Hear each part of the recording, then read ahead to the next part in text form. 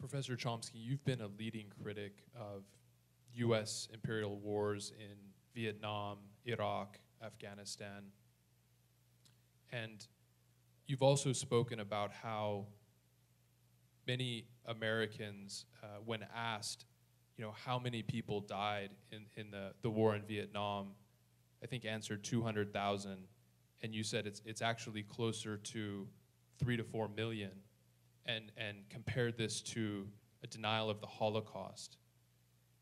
And yet, since the first Iraq war, through the wars in Iraq and Afghanistan and the sanctions, it's estimated that about 6 million Muslims have died in the Middle East through US bombing campaigns. What does that tell us, and how do we steer this country in another direction away from violence? Think the uh, just the situation is a little bit worse than what you described. The main study of uh, estimates of, of Vietnamese dead was 100,000.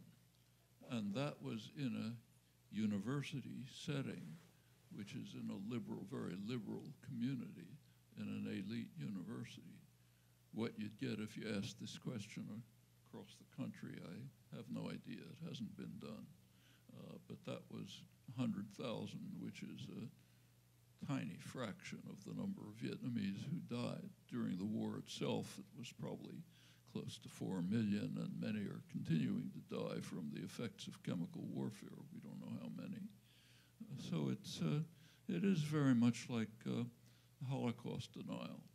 Uh, somebody who said that, you know, in Germany, at an elite university, uh, people were asked how many Jews died in the Holocaust, and they said, um, say, 100,000. You think there's a problem in Germany, a cultural, social, educational problem. And that's something that we have to face. Uh, going back, going on to Iraq, uh, the uh, uh there are there's a very the there was a sanctions. You mentioned the sanctions. This is before the war. This is under Clinton, not Bush. Under Clinton, there was a sanctions program administered by the UN, but of course it was a U.S. program. Uh, there were two, there were, uh, ad the administrators of the program were distinguished uh, international diplomats. The first one, Irish, uh, uh, resigned in protest because he described the uh, the sanctions as genocidal.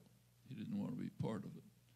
The second one, Hans von Sponeck, also a distinguished international diplomat, stayed on for, who incidentally, both of them had detailed information about what was happening in Iraq.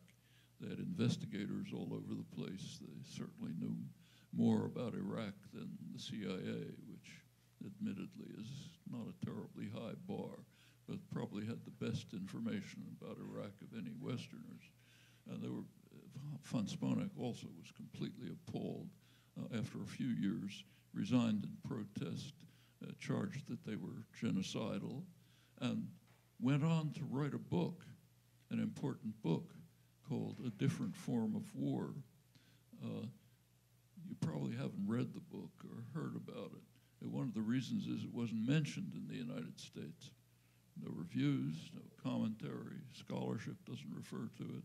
It's a detailed examination, very close examination of the way the sanctions were carrying out, were destroying the society, carrying out what he called genocide, killing hundreds of thousands of people, and furthermore, strengthening the tyrant. People were compelled to rely on Saddam's fairly efficient rationing system simply to survive. And if that hadn't, I'm now going beyond von Sponeck. I've talked to him about it actually, and he pretty much agrees that it's very likely that this saved Saddam from being overthrown from within, which has happened to dictators over and over. Uh, Somoza, Marcos, uh, Mobutu, uh, Ceausescu, you know, uh, one after another, has been overthrown by popular movements within, even though they were brutal and harsh dictators. It might very well have been the fate of Saddam, but he was strengthened by the sanctions which were carrying out virtual genocide, in von Sponeck's words, against the population, the population that was forced, that was decimated and forced to simply rely on him for survival. Uh, do we know anything about this? Like I say, the book that details it uh, is unknown, not reviewed, not mentioned.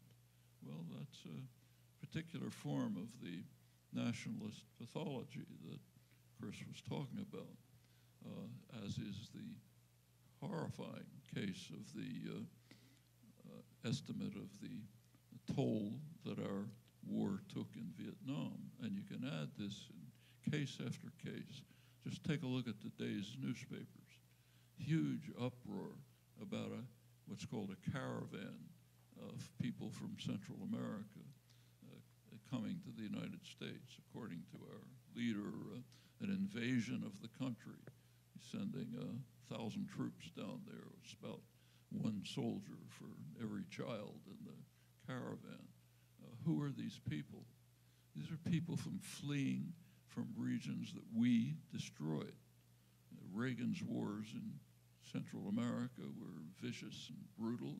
Uh, hundreds of thousands of people killed, uh, masses uh, tortured, uh, widows, orphans, every form of atrocity think of.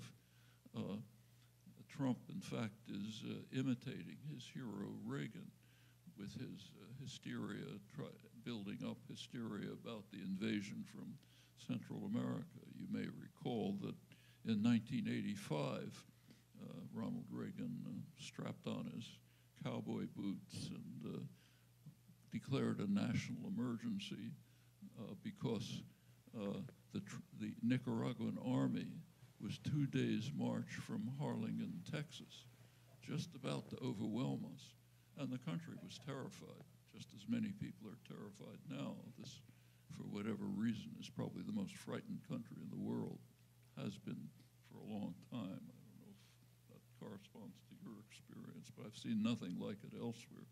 And it doesn't take much for, a, for the most ridiculous claim to be made. And this is a case where people are not just fleeing, but fleeing from what recreated it's not just Reagan's wars, which are bad enough. Uh, most of them are coming from Honduras. Why Honduras?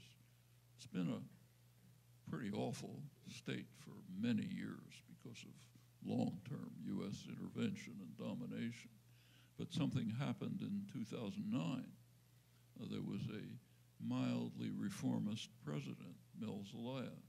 He was kicked out in a military coup. He was condemned all over Latin America and most of the world, with one notable exception. Uh, the Obama administration would not call it a military coup uh, for a very simple reason. If you call it a military coup, you're forced by congressional legislation to terminate military aid to the military junta that's ruling it. So therefore, for Obama, it wasn't a military coup. Uh, Honduras very quickly turned into a real horror, horror chamber, uh, the homicide capital of the world then came a fake election under the military junta. Condemned by the Organization of American States, by Latin American countries. Again, one exception. It was praised by the United States as a move towards democracy. Uh, that just increased the horrors and the terror. End result, people flee. Uh, well, and therefore we uh, cringe in terror because we're being invaded by these uh, miserable families fleeing from uh, horror and destruction. That's a form of nationalism which is pretty hard to describe.